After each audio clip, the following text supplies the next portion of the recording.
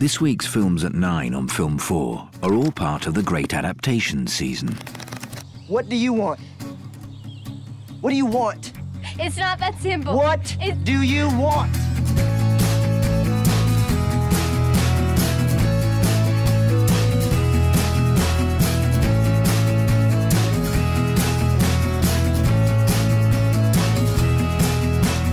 You know, I think you're the wickedest human being I've ever met. That was the attraction, wasn't it? I like this kind of story. Go on.